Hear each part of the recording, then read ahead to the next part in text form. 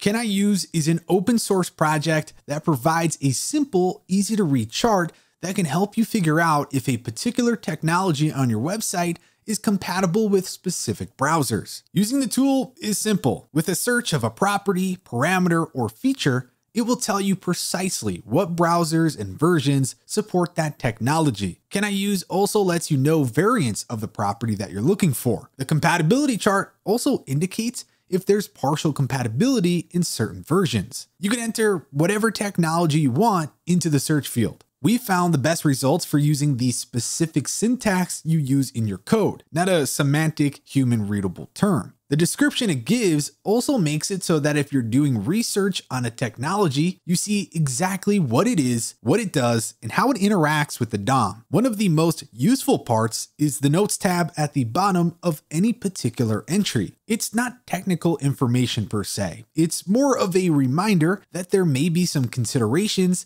that you can't see in a colored version chart. When you hover over a particular browser version, a pop-up appears with lots of info the total global usage of that version, whether it's still being supported by the developers, and an ability to test the tech using BrowserStack simulation, which is great for seeing how unsupported features actually render. And sometimes the Notes tab will also show you that a particular kind of feature has been deprecated. You can use tools like Google Analytics to see what browser and operating system your visitors are using. This will allow you to utilize Can I Use to make sure that your site works like it should for the highest percentage of your users. And there you go. That's how you use Can I Use. If you enjoyed this video, then be sure to give it a like and subscribe for more content. With that said, thanks for watching and we'll catch you in the next one.